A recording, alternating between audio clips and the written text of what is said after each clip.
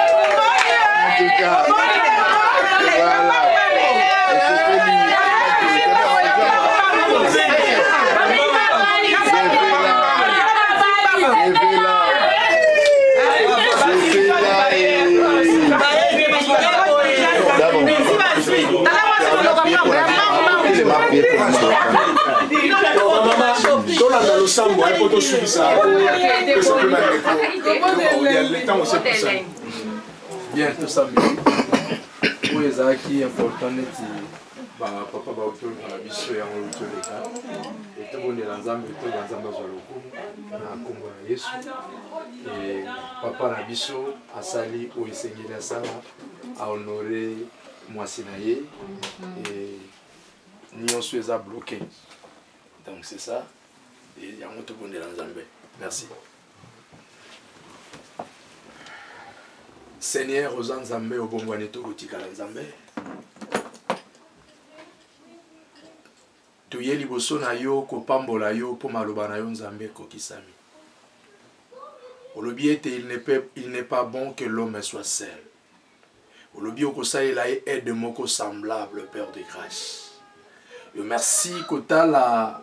babieneme na biso dans le nom de jésus osaleli papa na biso nono aide moko semblable oyo mpenza akokana na ye yango totiki bango epai na yo au nom de jésus christ de nazareth seigneur acte esalami lelo elakisi lola eza temoin na nyonso to papa na lola eza na moto moko lisusu te aza na autorité na katikati na libota na bango dans le nom de jésus epesi bango bokonzi parce que bakomi mibale c'est pourquoi olobi eplace bato mibale basangani yo nzambe oza et cela veut dire l'autorité opesi na bien aimé na biso père éternel dieu tika ye te olobi ye te l'homme azali mokonzi dans le nom de jésus-christ e na kati na mokanda na yo olobi ye te marie aimée et femme soyez soumise etika maloba na yo ekokisama katikati na bango na nyonso tomoni katikati na lelo mosantu zala na bango protege bango eya na butu eya na moi